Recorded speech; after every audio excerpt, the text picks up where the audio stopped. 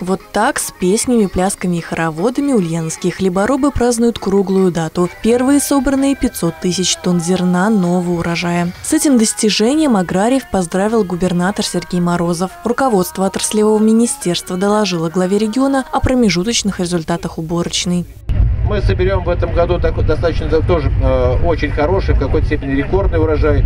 Где-то миллион, миллион сто, миллион двести тысяч э, тонн зерна. А нам для внутреннего потребления в Ульяновской области нужно около 600 тысяч тонн. С учетом там, потребления э, людьми, потреблением там, э, живностью, которая у нас с вами есть. А все остальное, сегодня очень хорошая цена на зерно складывается, тут, тут, тут, чтобы не сглазить мы сумеем с вами продать. Это значит, что уже в начале следующей недели регион будет полностью обеспечен зерном собственного производства. Остальное будет реализован, благо цена на зерно аграриев радует. К примеру, килограмм пшеницы третьего класса готовы покупать за 9,5 рублей. В прошлом году для сравнения из-за рекордных урожаев цена была не больше 6 рублей за килограмм. В качестве положительного примера можно назвать агрофирму «Тетюшская» в Ульяновском районе.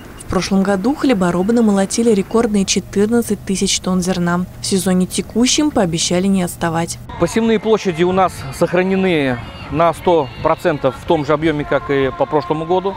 Уборочная кампания сегодня проходит, э, я бы сказал, согласно графика. Есть, а мы закончили еще в четверг. Сегодня э, мы убираем горох.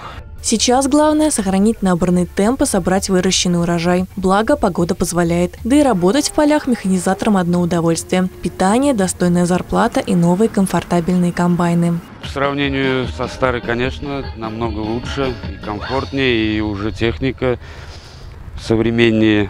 И уже чувствуется, что это мы движемся вперед. Всего же, по последним данным, в регионе обмолочено больше 200 тысяч гектаров при средней урожайности 25 центнеров с гектара. Дарья Судрева, Юрий Тимонин. Новости Ульяновской правды.